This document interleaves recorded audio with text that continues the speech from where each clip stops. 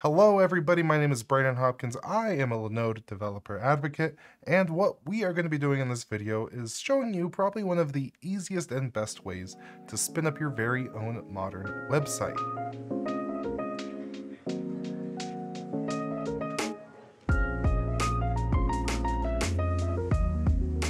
And this right here is the Grav website, Build Faster Websites. Grav is a modern open source flat file CMS, and boy does it have a whole bunch of different features that we're going to be checking out in this video. It uses Markdown for creating content. You have a bunch of one-click installs for various themes and plugins, great performance, multi-language support, but instead of going through here, let's go through it in the actual application. Right here, I'm on the Linode Create page, and to go ahead and spin this up, all we're going to need to do is head over to the marketplace, I'm going to give it a quick search for Grav. Here it is. Let's select that. And of course, this one-click installer will go ahead and get our SSL certificates lined up. I'm going to create our limited sudo user. I'm going to stick with this password. And here's our Linode API token. Now, I'm actually going to use this real quick. So let's go over here to API tokens, and I'm going to go ahead and generate one. So to generate this, I'm just going to give it a name, grab one, give it full read and write, and I'm going to create this token. We're going to copy this, and I saved it. Now, if you don't know, this is connected to the Linode domain name manager. This is the domain name I'm going to be using, and essentially what this is going to do is create our A records for us and allow us to get an SSL certificate automatically. So I'm going to scroll down here and paste this in right where it asks for the API token. For this, our subdomain, we're just going to call this grav, or you can call it blog, or really whatever you need here. And then we're going to do our full domain, which for me it's hopkey.net. Ubuntu 20.04 LTS will be fine. We're going to pick our region. Generally, I'm going to pick a server closest to me or close to my target audience. So I'm going to go US West. And for just just this service, the shared CPU Nanode $5 a month plan is going to be perfectly fine, and we could always upgrade further as our website demands it. So for the label, I'm just going to call this the domain, so grav.hopkey.net, and then give ourselves a pretty decent root password. There we go. And I do always recommend setting up SSH keys for extra security, but we're going to go ahead and skip that for now. Backups are an option here if you do need that.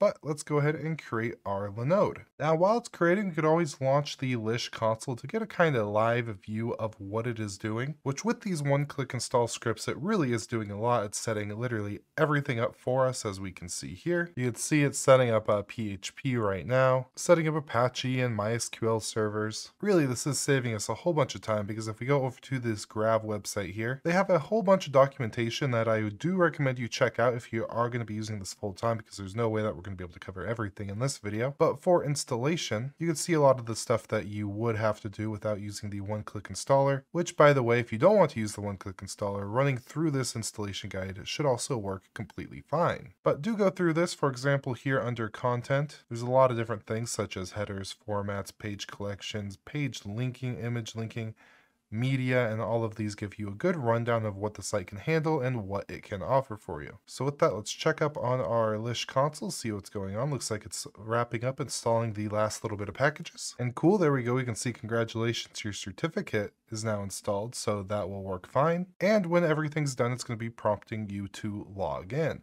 Now there's really not anything we're going to need to do in CLI for this as it went ahead set everything up for us. But I'm going to go over to this tab here and type in the domain we set up, which is grav.hopkey.net. Hit enter. And then it's going to take us to our admin setup page. So I'm going to go ahead and fill this out real quick. So you give yourself a username, your email, your password, full name, and then you give yourself a title. So from there, I'm going to go ahead and click create user. And it looks like I'm going to have to go with a, uh, slightly stronger password and then create user. And then that's going to take us to our Grav dashboard. Of course, they have a premium option, so you can go ahead and check that out if you'd like to. I'm going to close that out for now.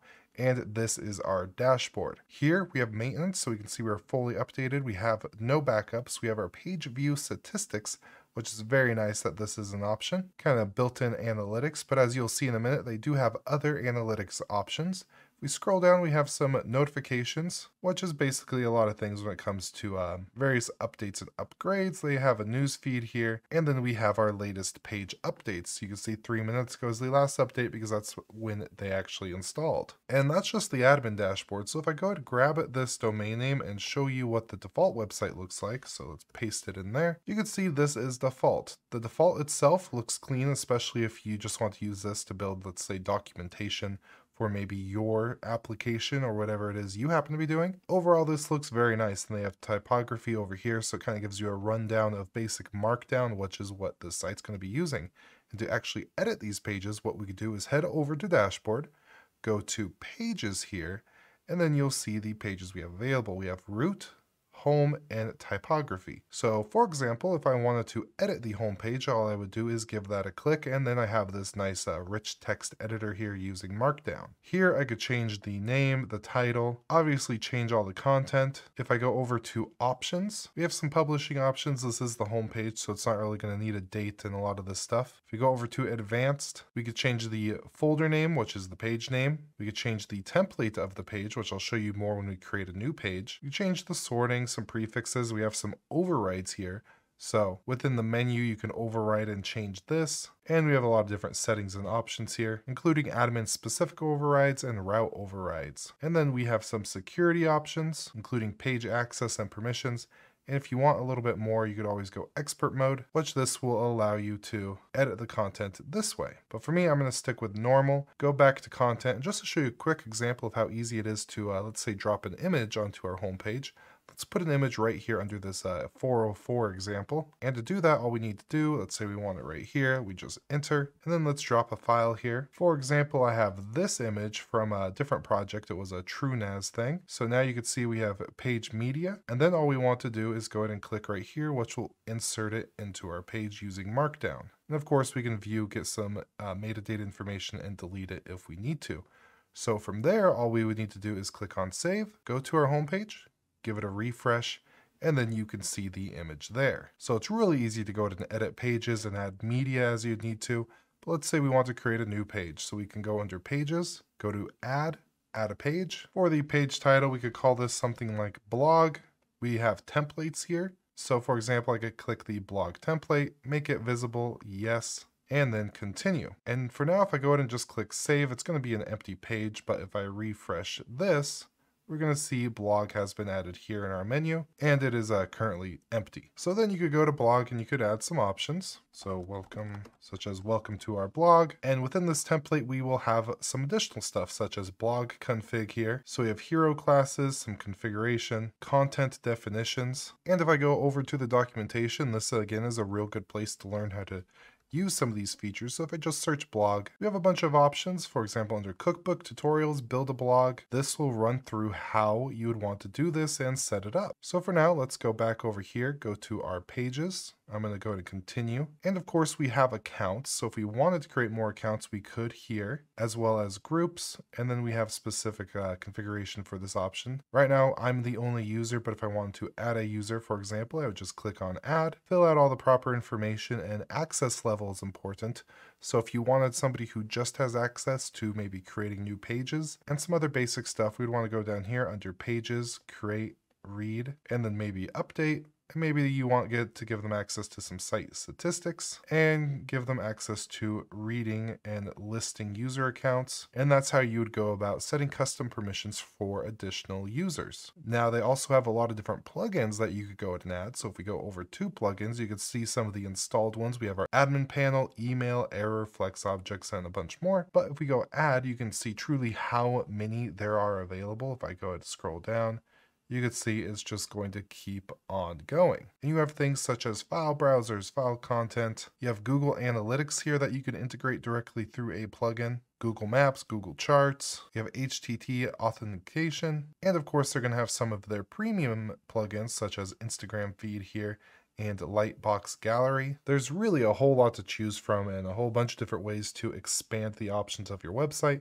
For example, if I am to click on this one right here, this is Nextcloud allowing you to automatically sync the backups from Grav to Nextcloud. You could just add it here by clicking install plugin, continue, you can see dependencies installed, install successful, and it's really as easy as that. And then you could go ahead and go to the GitHub to get some more information on installing and actually using the plugin. Which you can see here where the actual configuration is and how you're going to want to uh, edit and work that. So going back, another thing that is really nice about Grav is how easy it is to manage themes. So this is the default theme. If we give this a click that we'll have some additional settings that are theme specific such as your custom logo, custom mobile logo, you have fixed header, animation styles, dark styles. So if I enable dark style, show you what this kind of looks like before, we save this and then refresh our page, you can see it made this top dark over here. And there are a lot more options such as where your blog default is, you have your sticky footers and a few more. But if we go back to themes, and here we could click on add and it populates with a whole bunch of different options for themes. So I'm just going to scroll down to the bottom here just to show you how much you got. And these are just the ones that are incorporated automatically. If you actually go to tools here, direct install, you could use this page to install zips and custom themes, plugins, things like that but I'm going to go back to our themes and just pick one out real quick. So for example, this one right here looks rather nice. Let's give this a click. We can open up that GitHub page to go ahead and check it out, which it does look like just a simple blog page. If I wanted to install it, all I would need to do is click on install theme, continue, and now the theme's installed. So if I go to my themes page, you're going to see our default right here as well as the new one. So we would just go ahead and click on activate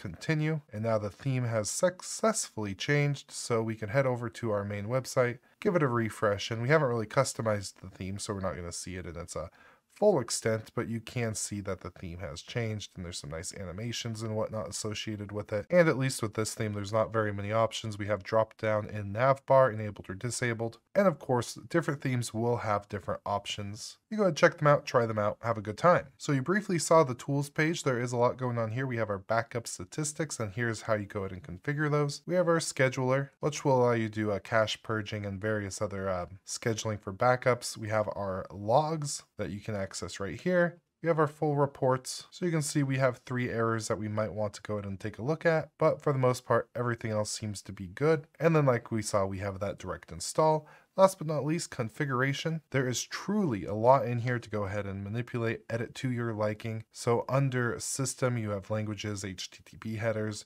you can configure Markdown so you can enable Markdown Extra if you'd like to, and all these settings have the little question mark, so you kind of hover over and see exactly what is going on. And then we have options for site, metadata, redirects, page summary, things like that. We have our media options, so the allowed formats, you can remove, change those as you need to. And of course, we have some security settings, some general information about our installation, so some PHP stuff, Apache handlers, and truly a lot of information to go ahead and help us debug or fix issues. But yeah, overall, this is a really easy platform to use, or really easy to install. You can see I have now have 19 page views as I've been constantly uh, refreshing and trying to see these changes. Overall, Grav is just super easy to use, super easy to set up. It's very expandable. It is a wonderful option if you're looking to host a website today. Uh, with all that, again, there's going to be a link down below to that $100 60 day credit, so you could try this out right now if you would like to. And I do recommend you subscribe and you ring that bell to this channel because there is a ton of great cloud computing content, tutorials, guides that you're going to want to check out. With all that, I do hope you have an absolutely beautiful day and goodbye.